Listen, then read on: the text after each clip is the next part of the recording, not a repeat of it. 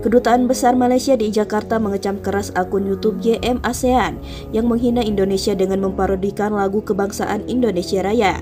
Dalam keterangan resmi yang diunggah di akun Facebook resminya, Kedubes Malaysia mengatakan bahwa pihaknya telah mendapatkan not terkait video yang telah menghina Indonesia yang diduga diunggah di Malaysia.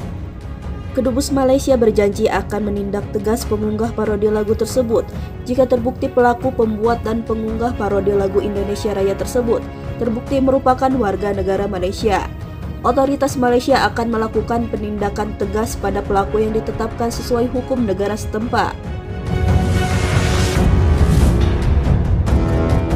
Sebelumnya diberitakan telah beredar parodi lagu Indonesia Raya yang berisi kata-kata menghina Indonesia serta para presiden Indonesia. Parodi lagu Indonesia Raya itu diunggah warganet dengan akun YouTube YM ASEAN yang diduga merupakan warga negara Malaysia.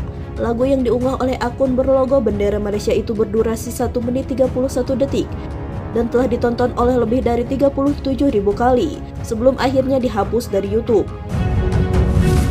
Berdasarkan informasi dari Kedutaan Indonesia di Kuala Lumpur, KBRI telah melaporkan akun YouTube YM ASEAN kepada pihak kepolisian.